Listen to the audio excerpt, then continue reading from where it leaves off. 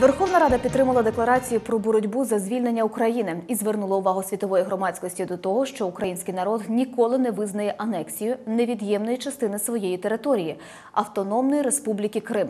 Від імені народу Верховна Рада заявляє, що Крим був, є та буде в складі України. Український народ ніколи і за жодних умов не припинить боротьбу за звільнення Криму від окупантів, якою б важкою і тривалою вона не була, мовиться в документі.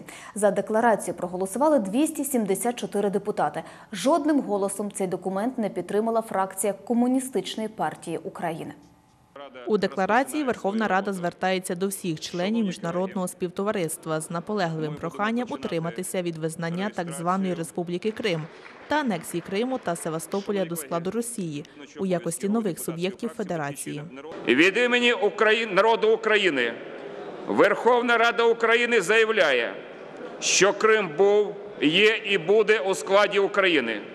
Український народ ніколи і за жодних умов не припинить боротьбу за звільнення Криму, якою б важкою і тривалою вона не була. Україна переможе, бо з нами Бог і правда. Також Верховна Рада визнала кримсько-татарський народ корінним народом у Криму з усіма правовими і соціальними наслідками цього статусу. За прийняття відповідного проекту постанови проголосувало 283 депутати. Згідно з нею, Україна гарантує захист та реалізацію права на самовизначення кримсько-татарського народу в складі країни, визнає Меджліс, виконавчий орган Курултаю, як вищий повноважний орган народу. Ми маємо гарантувати захист та реалізацію невід'ємного права на самовизначення кримсько-татарського народу у складі суверенної та незалежної української держави.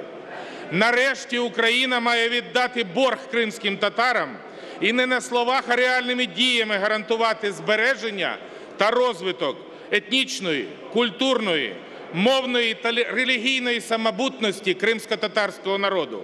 Кримські татари разом з Україною переживають часи випробування на стійкість та відданість принципам цивілізованого світу під надзвичайним тиском Орди, що окупувала Крим і намагається підірвати мирне життя цілої ні- ні- наших регі- е, е, інших регіонів України. Забезпечення прав корінного кримськотарського народу, батьківщина якого є Крим, за міжнародним правом Крим іншого дасть нашій державі додаткові правовий важелі впливу на міжнародній арені на агресора. Крим і Севастополь український парламент визнав тимчасово окупованими територіями.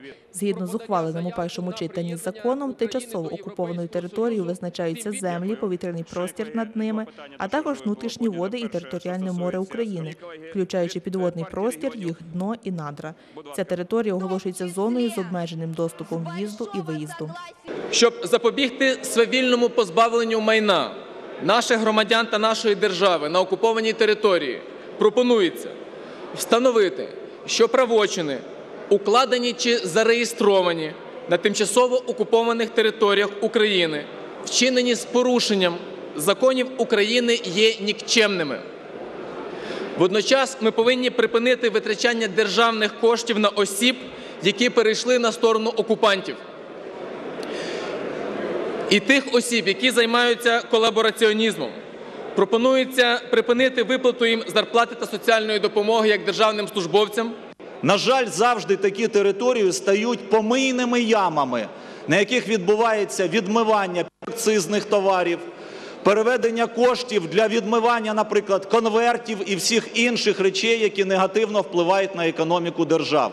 Причому не лише на економіку української держави, але і інших держав світу.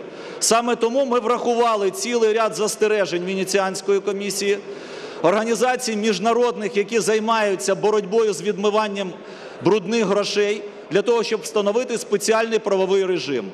Закон передбачає, що тимчасово окупована територія є невід'ємною частиною України і на неї поширюється українське законодавство.